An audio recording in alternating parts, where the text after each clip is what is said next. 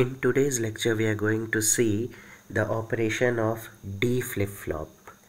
Okay, so D flip-flop is also known as delay flip-flop or data flip-flop. In D flip-flop, whatever is the input, the same appears at the output.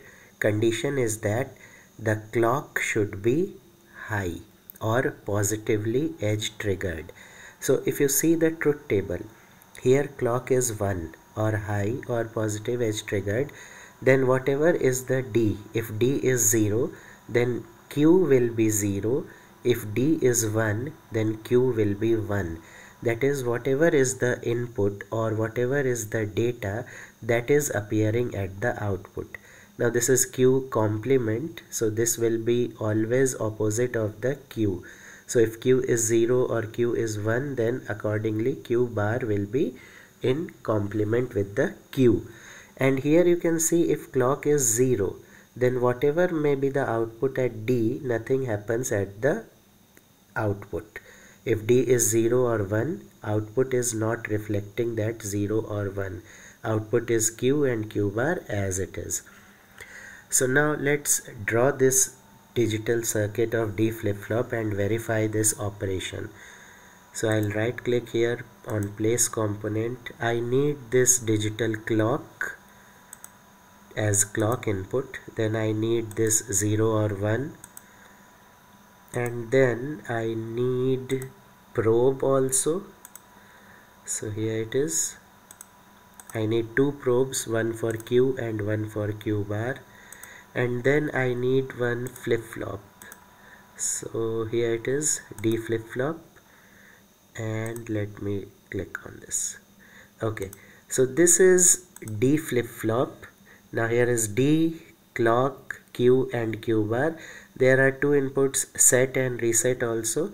For this experiment for this time being we are leaving this set and reset unconnected. As it is it will not cause any problem.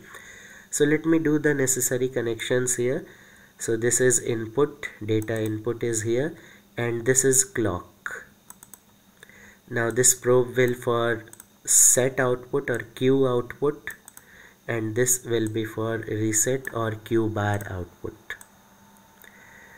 Okay so this is the simple connection of d flip-flop and let's verify the operation.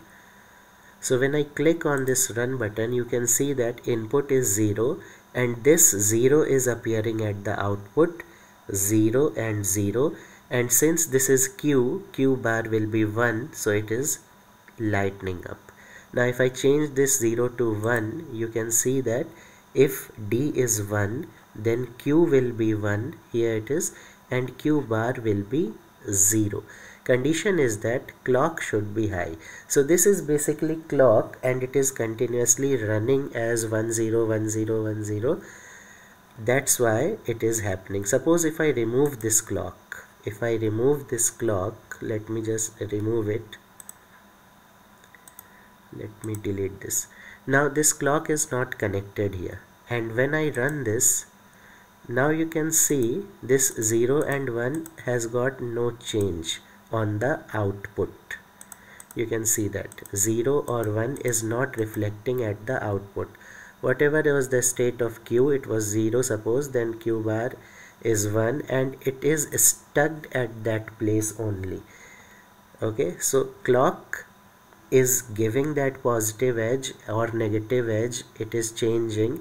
So every time it is going to that positive edge and that's why we are getting this change in the output for positive edge of clock. But if I have removed this clock any change in the input is not going to change the output. So that's why we need this clock here. And this is the basic operation of D flip-flop. And that's it for this lecture and we'll meet in the next lecture. Thank you